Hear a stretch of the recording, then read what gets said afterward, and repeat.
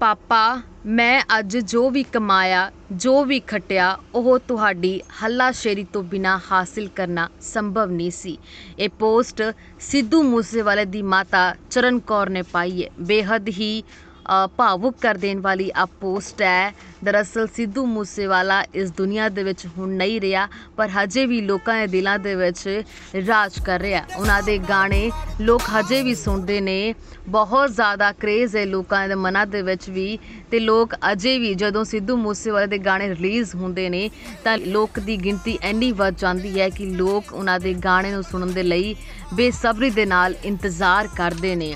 ਮਰਹੂਮ ਗਾਇਕ ਜੋ ਕਿ ਇਸ ਦੁਨੀਆ ਦੇ ਵਿੱਚ ਹੁਣ ਨਹੀਂ ਰਿਹਾ ਹੈ, ਪਰ ਹਜੇ ਵੀ ਲੋਕਾਂ ਦੇ ਦਿਲਾਂ ਦੇ ਵਿੱਚ ਆਪਣੀ ਛਾਪ ਛੱਡ ਕੇ ਚਲੇ ਗਏ ਨੇ ਸਿੱਧੂ ਮੂਸੇਵਾਲਾ। ਤਾਂ ਉਹਨਾਂ ਦੀ ਯਾਦ ਦੇ ਵਿੱਚ ਤੀਜ ਤਿਉਹਾਰ ਦੇ ਮੌਕੇ ਦੇ ਉੱਤੇ ਉਹਨਾਂ ਦੇ ਮਾਪੇ ਉਹਨਾਂ ਨੂੰ ਬੇਹੱਦ ਯਾਦ ਕਰਦੇ ਨੇ।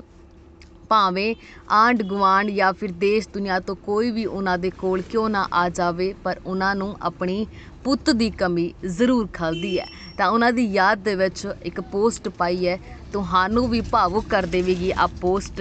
ਦਰਅਸਲ ਇਹ ਪੋਸਟ ਦੇ ਵਿੱਚ ਲਿਖਿਆ ਹੈ ਕਿ, ਪਾਪਾ, ਮੈਂ ਅੱਜ ਜੋ ਵੀ ਕਮਾਇਆ, ਜੋ ਵੀ ਖਟਿਆ, ਉਹ ਤੁਹਾਡੀ ਹੱਲਾਸ਼ੇਰੀ ਤੋਂ ਬਿਨਾਂ ਹਾਸਿਲ ਕਰਨਾ ਸੰਭਵ ਨਹੀਂ ਸੀ।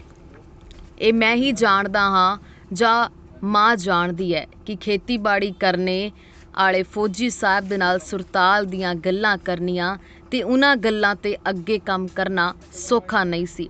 ਮੇਰੇ ਸਿਰਜਣਹਾਰਿਆਂ ਤੋਂ ਵੱਡਾ ਮੇਰਾ ਕੋਈ ਦੋਸਤ ਨਹੀਂ ਹੋ ਸਕਦਾ। ਭਾਵੇਂ ਅੱਜ ਕੋਈ ਕਿੰਨਾ ਹੀ ਮੇਰਾ ਕਰੀਬੀ ਬਣ, ਦੁਨੀਆ ਦੇ ਸਾਹਮਣੇ ਮੇਰਾ ਅਲੱਗ-ਅਲੱਗ ਪੱਖ ਪੇਸ਼ ਕਰ ਰਿਹਾ, ਪਰ ਮੈਂ ਜਾਣਦਾ ਕਿ ਮੇਰੇ ਮਾਪਿਆਂ ਤੋਂ ਵੱਧ ਮੈਨੂੰ ਕੋਈ ਨਹੀਂ ਜਾਣਦਾ।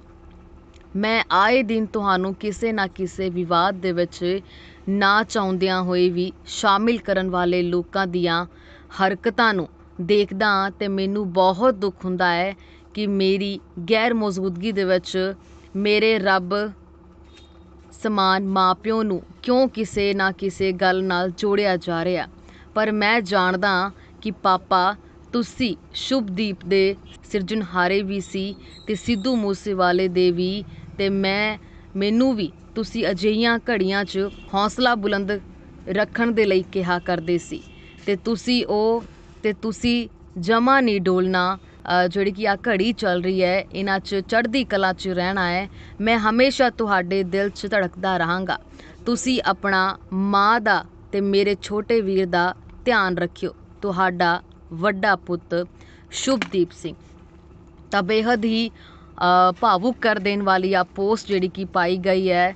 ਹਰ ਇੱਕ ਇਨਸਾਨ ਇਸ ਪੋਸਟ ਨੂੰ ਸੁਣ ਕੇ ਭਾਵੁਕ ਹੋ ਰਿਹਾ। ਅੱਖਾਂ ਦੇ ਵਿੱਚ ਹੰਝੂ ਆ ਜਾਂਦੇ ਨੇ। ਆ ਪੋਸਟ ਨੂੰ ਸੁਣ ਕੇ ਕਿ ਇੱਕ ਪੁੱਤ ਆਪਣੇ ਪਿਓ ਨੂੰ ਕਿੰਨਾ ਪਿਆਰ ਕਰਦਾ ਹੈ ਤੇ ਇਹ ਵੀ ਦਰਸਾ ਰਿਹਾ ਹੈ ਕਿ ਅੱਜ ਦੇ ਸਮੇਂ ਦੇ ਵਿੱਚ ਮਾਪਿਆਂ ਤੋਂ ਵੱਧ ਤੁਹਾਡਾ ਸਿਰਜਣਹਾਰਾ ਕੋਈ ਨਹੀਂ ਹੋ ਸਕਦਾ।